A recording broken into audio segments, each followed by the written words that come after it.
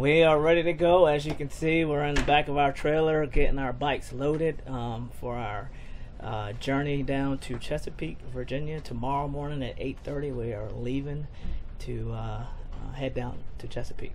You'll start riding and heading to DC the next day? On the 10th, we begin our trek to DC from Chesapeake. Um, first day is Chesapeake to Richmond, over just over 100 miles.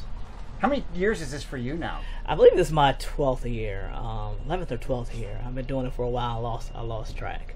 Toughest part about this? Toughest part about it is, um, I guess, trying to figure out how much to train. If you train too much, train too little, but there's never enough time to train enough. So I actually getting the time in to actually train for the ride. Um, but like I tell all my guys, it's, it's mostly mental. Uh, the key to it is just keep pedaling. Keep pedaling. Keep pedaling. Well, in looking at the weather too, I looked ahead for you guys and saw it's going to be hot and it might rain, and I thought those are two things you probably don't like to see. No, um, it's rain is a little annoying because it's pounding on your your uh, your your visor, your sunglasses, or whatever, and you get all soaked and water splashing all over the place. But then uh, the sun always, the clouds always open and the sun comes up and then it steams us. So it's never a great combination, but whatever the weather is, we'll, we'll, we'll ride. Well, Captain, you do that. I mean, you've done this all, all, these years, and I mean, and you do it, and you, you have a, especially for, for city police, you, you, you have somebody that you can point to that, that you worked with. That's right. Uh, so Todd Barr, I ride obviously for Todd, um, who was killed in the line of duty in 2008. So um, whenever we get you know tired and Yeah. and that's always the reminder at the briefing um, the day on day one when you get tired you start to get angry and cranky look down at your wrist because every officer will have a bracelet on their wrist with the fallen off officer so when you get when you start to get grumpy look down at your wrist and remember why you're riding because um, there's somebody who paid the ultimate sacrifice who we are uh, are memorializing um, as we're riding through uh, the three days And I guess I mean everybody does that. And you, you, you know others, I'm sure that, that have. And I mean that, that's that's the thing about this ride that makes it so personal for all of you. Right. Everybody personally rides for someone, um, which is why they do the ride. They're motivated by that um, individual who uh, they're riding for. And then additionally, you might be assigned an officer that you, you don't know, someone from a different state or a different jurisdiction. Um, so you'll look that officer up and uh, find that officer story. Um, and then hopefully you'll meet the family in DC um, because that's the point. We ride into DC on that third day and we meet the families and we, we present them with that bracelet that we've been wearing over the three days and a flag that's that'll be on the back of the bike once we ride into DC. So it's very personal. Um, my involvement is uh, this is my first year doing it, um, and I have a lot of friends with the Fredericksburg Police Department and Spotsy Sheriff's Office. So um, I decided I wanted to ride with them this year. Um, probably my last year also, since I'm close to retirement. But, You excited? yes, I am very excited. How do you train for something like this? A lot of riding, a lot of endurance rides, um, a lot of hills. There's some pretty tough hills in this area that you guys have to navigate. There there are and uh, I think of Route One You- in Stafford, you, especially. you get very uh, intimate with those hills over the three days, and um, you know, day one is very flat. Um, there's there's some some a, a couple hills at the end of the day getting into Richmond, um, but day two from from uh, Richmond to 610, you begin to climb some serious mount uh, not mountains but uh, hills in Stafford County, and uh, it's it's it's day two that Stafford's known for just bringing the pain. So uh, no one looks forward to day two because you're you're tired from riding all day, and now you have to do these uh, hills um, to get to the hotels on 610. So they they are not pretty. But day three is just as worse.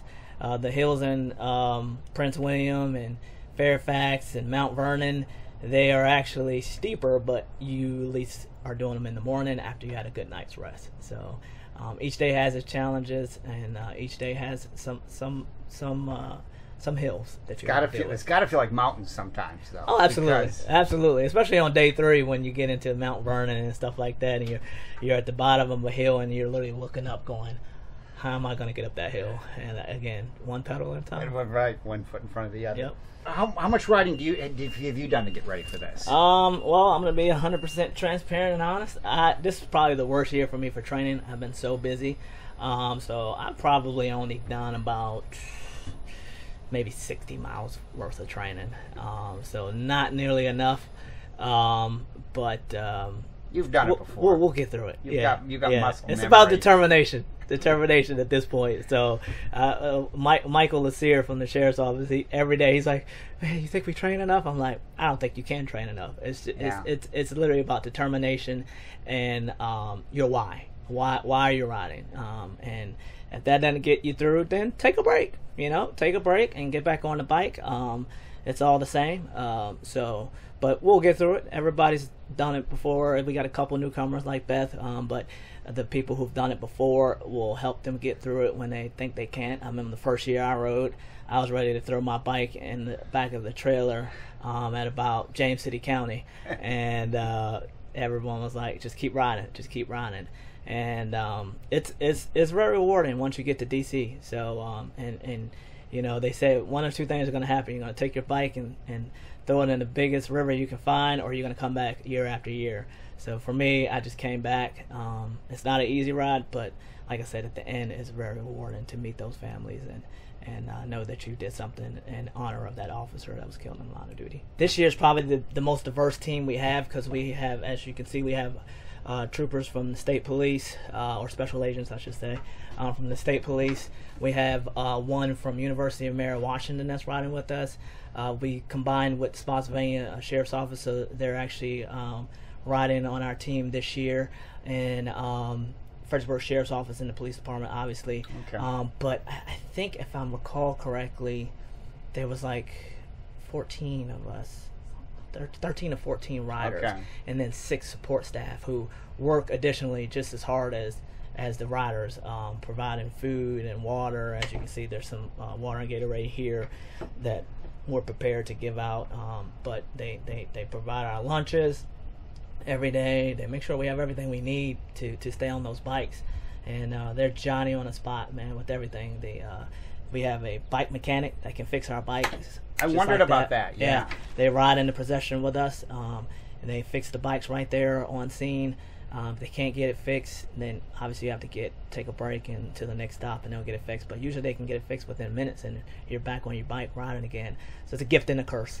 Yeah. well, I look forward to you guys coming through on Thursday. Thanks for what you do. This this is uh, this, this does mean a lot, I know, to you, but it, it points to just it points to the danger that, that you all live with every day that we sometimes just take for granted. Yes, sir. Yeah, and, and our community is great, and that's one thing that we like to highlight is the fact that um, all of the community supports us in this endeavor um, throughout the year as we do fundraisers. Um, there's companies that donate um, to make those fundraisers uh, happen.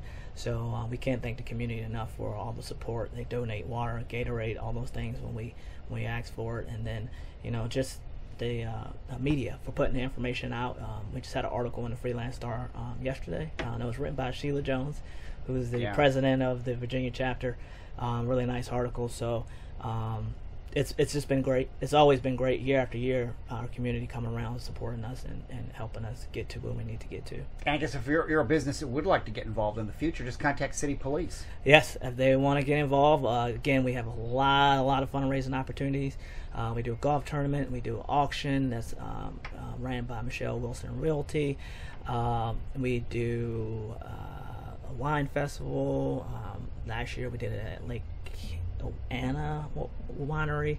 Uh, we did it at 1781 at one point. Yeah. So there's a lot of opportunities for people to get involved if they want to.